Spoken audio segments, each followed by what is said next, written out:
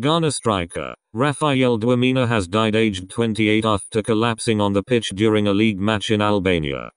Dwamena was playing for Egnatia against Partizani on Saturday.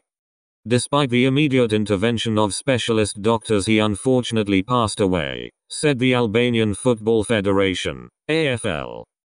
Dwamena was the leading scorer in the Albanian league this season with 9 goals.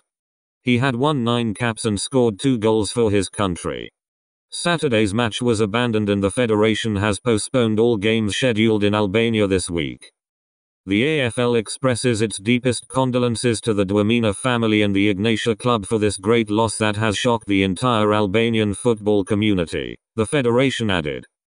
The Ghana Football Association, GFA, said it sent our deepest condolences to his family at this difficult moment. He served his country well and showed class any time he represented Ghana, GFA President Kurt Edwin Simeon Okraku said in a statement.